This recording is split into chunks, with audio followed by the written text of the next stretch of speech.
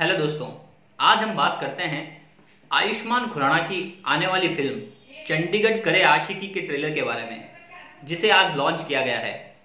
Film का title बड़ा interesting है, चंडीगढ़ करे आशिकी। वैसे तो हर स्टेट में, भारत के चाहे वह कोई भी स्टेट हो, हर स्टेट में आशिकी होती है।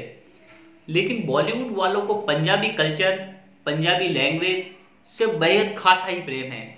इसलिए बॉलीवुड में अधिकतर गानों में कहीं ना कहीं पंजाबी टच या कहानी में कहीं ना कहीं पंजाबी कल्चर को रखा जाता है। तो ऐसी ही पंजाबी कल्चर पे बेस्ड फ़िल्म है चंडीगढ़ करे आशिकी, जिसमें आप आयुष्मान खुराना को देखेंगे। फ़िल्म के ट्रेलर से यह कहा जा सकता है कि आयुष्मान खुराना ने इस फ़िल्म के लिए अपने गेटअप को बहुत चेंज किया है और अपने लुक को चेंज करने के लिए काफ़ी मेहनत की है, क्योंकि वह फ़िल्म के अंदर एक जिम ट्रेनर एथलीट के रूप में नज़र आने वाले हैं। इस कारण उनकी अच्छी खासी डोले शोले वाली बॉडी भी आपको फ़िल्म में देखने को मिलेगी। फ़िल्म में पहली बार आयुष्मान खुराना के साथ नज़र आएँगी वाणी कपूर, जो कि एक जुम्बा टीचर के रूप में फ़िल्म में दिखाई जाने वाली है।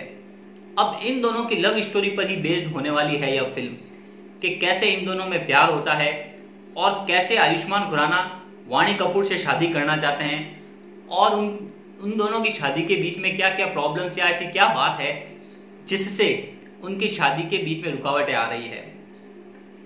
अगर आप आयुष्मान खुराना के फ़ैन हैं तो आपको थोड़ी सी निराशा ज़रूर होगी, क्योंकि पिछली जितनी भी फ़िल्में आपने आयुष्मान खुराना की देखी होगी, अधिकतर फ़िल्मों में आयुष्मान खुराना ने कुछ ना कुछ नया डिफरेंट टॉपिक या नए सब्जेक्ट की कहानी के साथ वह हमेशा बड़े पर्दे पर आए हैं।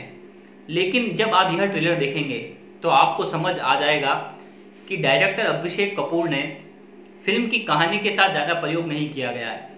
एक नॉर्मल लव स्टोरी को पंजाबी टच के साथ दिखाया गया है। हाँ लेकिन इस बार प्रयोग किया गया है आयुष्मान खुराना के गेटअप और लुक के साथ। आपको ट्रेलर से ज़्यादा अगर कुछ पसंद आएगा तो वो है आयुष्मान खुराना और वाणी कपूर की जोड़ी और आयुष्मान खुराना का गेटअप और लुक तो यह बात थी आज रिलीज़ हुए ट्रेलर चंडीगढ़ करे आशिकी के बारे में। जल्दी मुलाकात होगी नए किसी ट्रेलर या फिल्म्स के रिव्यूज़ के साथ। तब तक के लिए मैं आपका दोस्त निखिल आपसे विदा चाहूँगा। सलाम, नमस्ते। जय हिंद, जय भारत।